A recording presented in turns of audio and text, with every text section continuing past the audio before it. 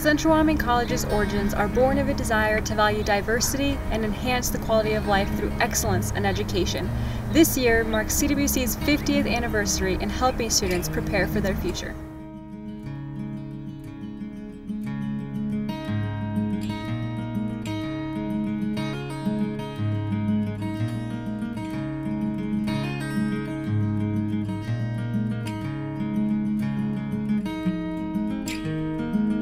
It's hard to believe that the land that now makes up the core of Central Wyoming College was homesteaded in 1906 by George Dobler. He often referred to his land as a knowledge shop, and now, 110 years later, it truly is a knowledge shop. George Dobler would only pay $1.25 an acre plus a $90 filing fee for his land. A few years later, in order to grow his family, Dobler would sell his land and build a four bedroom house.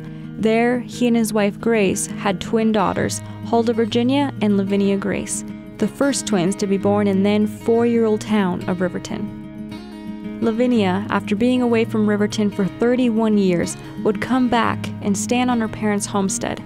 Bob Peck, the first trustees board president, and Dr. Walter Palmberg, the first CWC president, would walk with her and give her a tour of where they planned to construct the new buildings.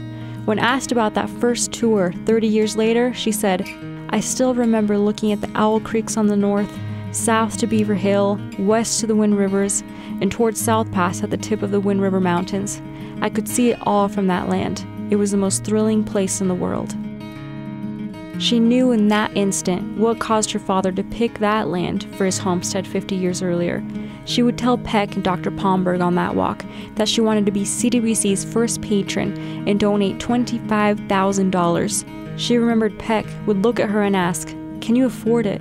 The two college fathers didn't know that the $25,000 she would donate was set aside for her retirement. She would end up giving $25,000 in company stock that now makes up the CWC Foundation and has since more than doubled in value. Later that year in 1966, George Dobler's dream of a knowledge shop was about to become reality. 50 years later, CWC offers over 50 degree choices. When these buildings started, I mean, there was one little house on the prairie, so to speak. And now look at our campus. It's beautiful. It's a showpiece. A lot of businesses downtown say this is the jewel in the crown, so to speak. What I like about the facilities is not just growth for growth's sake, growth because students needed it. Students needed more housing. Students needed a health science center. Our Native American population needed the Intertribal Center. We have responded to students' needs. That to me is really core. And that's one value that has not changed since I started here. Faculty like students and are there to serve them.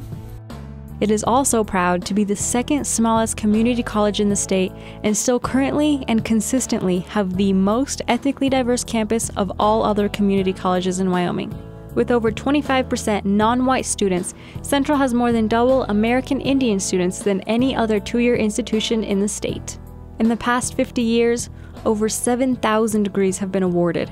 Students choose Central Wyoming College because they also share the ideal of a rich social fabric woven together with strands from different race, color, and origin. CWC is an intricate web of intricate thinkers and doers. The intimacy of the linkage is what creates the multifaceted face of this college. Starting with Bob Peck, the Dobler family, and flowing through their history. Their humanity is what connects them.